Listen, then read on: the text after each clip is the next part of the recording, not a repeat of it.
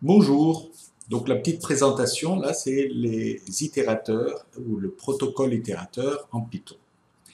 Donc, qu'est-ce que c'est un itérateur? Un itérateur, vous avez des objets dans votre langage de programmation, n'importe quel type d'objet, qui pourraient être euh, utilisés d'une manière séquentielle. Donc à ce moment-là, on va le transformer en un itérateur. Il y a des, objets qui sont naturellement itérables, une liste, hein, on a envie de la parcourir élément après un élément, c'est naturellement itérable. Donc la notion d'itérateur, c'est de permettre à nos programmes de parcourir un ensemble, élément après élément. voilà l'idée de base. Donc un itérateur, c'est un objet, l'itérateur en lui-même, qui va représenter le flux de données, hein, le, pipeline. Et pour pouvoir l'utiliser, on a besoin d'une méthode next, ou la fonction next. Hein, la fonction next appelle la méthode euh, magique euh, underscore underscore next. Et donc, ça va permettre d'obtenir successivement les objets du flux. Euh, quand nous arrivons à la fin du flux, bah, ceci va lever une exception et va nous dire qu'il n'y a plus d'éléments dans le flux. Pour créer l'itérateur, bah, il y a la méthode euh, iter, la méthode magique iter ou la fonction iter qui nous permet à partir d'un objet d'obtenir son itérateur. Donc un itérateur, tout objet Python, hein, on a du doc typing, donc dans le doc typing, tout objet qui possède ces deux méthodes, next et iter, sera considéré comme un itérateur. Et une fois qu'on a un itérateur, on l'utilisera dans les boucles for. Et en fait, c'est ça l'idée de base, hein. c'est de pouvoir utiliser euh, le parcours en faisant des boucles for each. Hein. For, euh, on va parcourir tous les éléments. Et on peut utiliser aussi la fonction in qui nous permettra euh, d'avoir de savoir si un élément est dans la collection ou pas.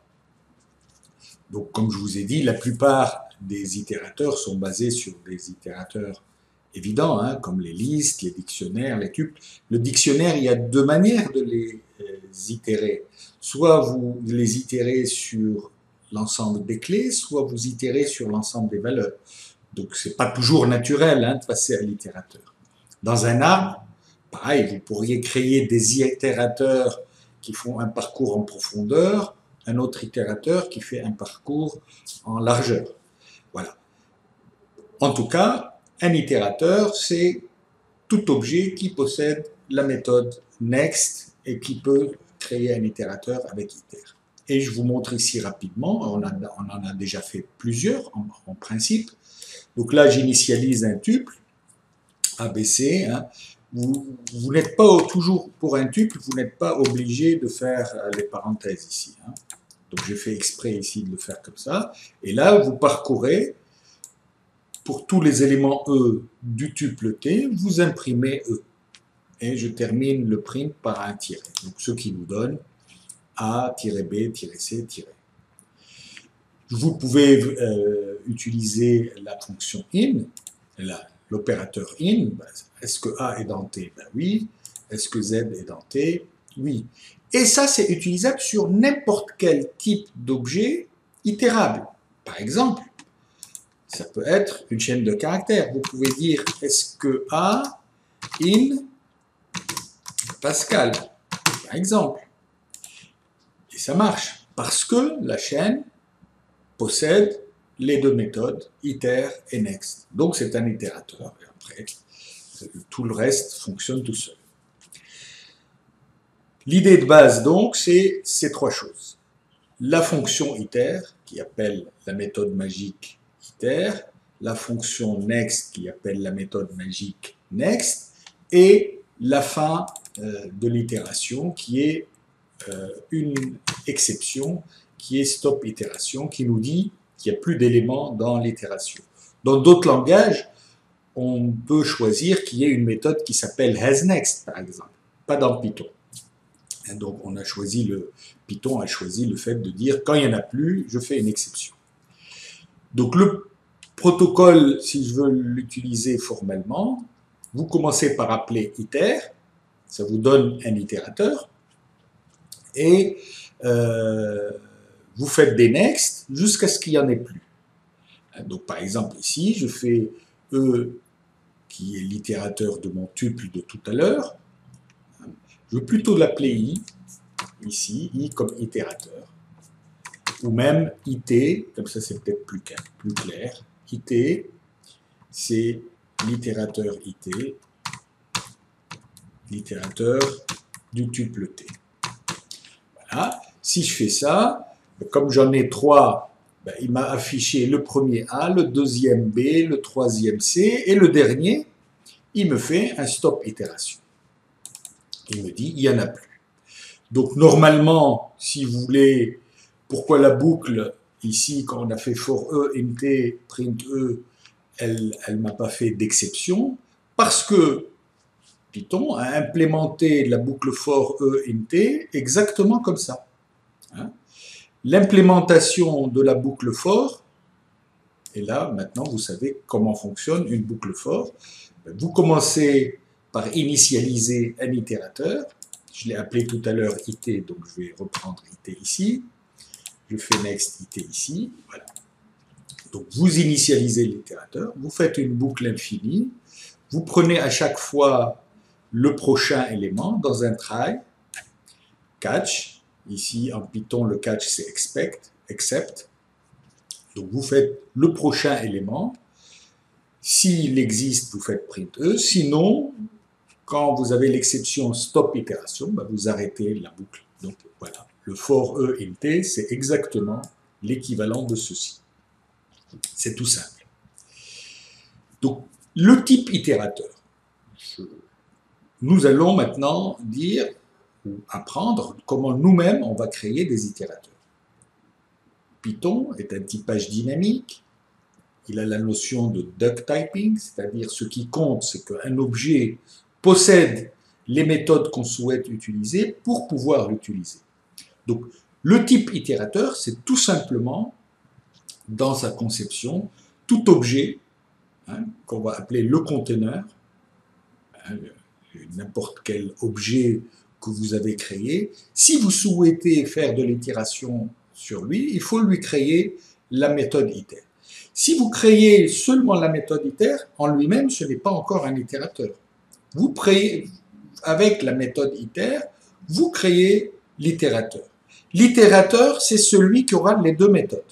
L'itérateur, c'est quelque chose qui a la méthode iter plus la méthode next. je reviens à mon dessin de tout à l'heure. Un conteneur qui n'est pas nécessairement un itérateur, vous appliquez la méthode iter, ça vous donne un itérateur, et vous faites vos itérations sur l'itérateur et non pas sur le conteneur. Donc c'est une copie des données qui sont dans le conteneur en général. C'est une représentation de ce qu'il y a dans le conteneur.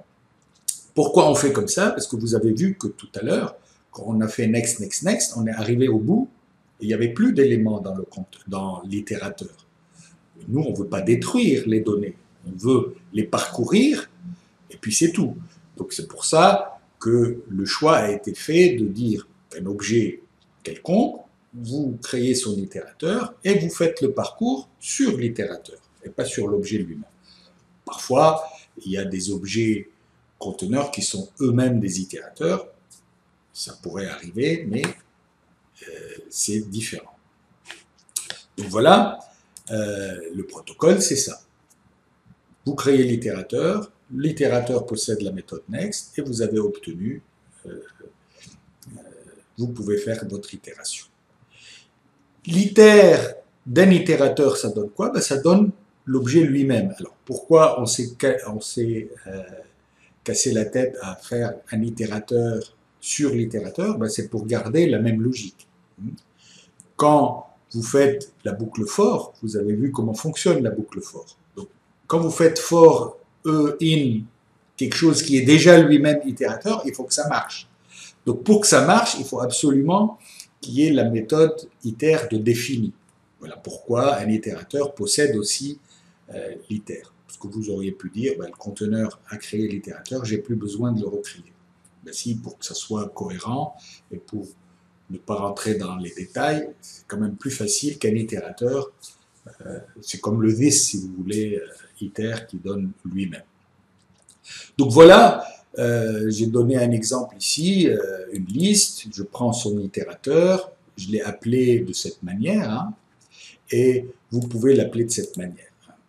Je vous ai dit précédemment aussi que vous pouvez appeler les choses d'une manière fonctionnelle. Donc, il y a beaucoup de méthodes, qui sont en fait les méthodes magiques, qui ont leur pendant fonctionnel.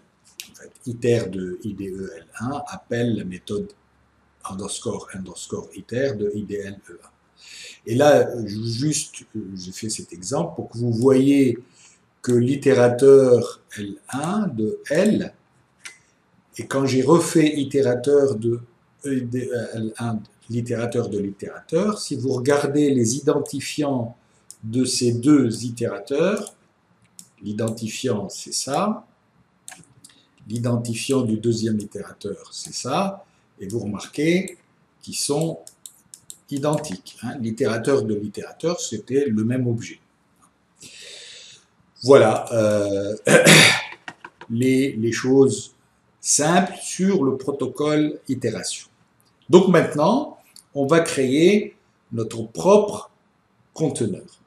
Donc notre propre conteneur, c'est dans la prochaine vidéo. Vous cliquez quelque part là, à droite ou à gauche de, de, la vidéo et vous aurez le prochain, euh, la prochaine vidéo qui est euh, un conteneur qu'on va créer nous-mêmes.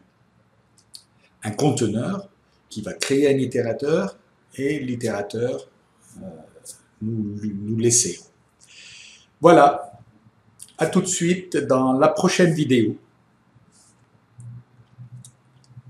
Clique à droite ou à gauche, c'est pas trop, hein, pour euh, la prochaine vidéo. Et abonnez-vous si vous n'êtes pas encore abonné. Hein.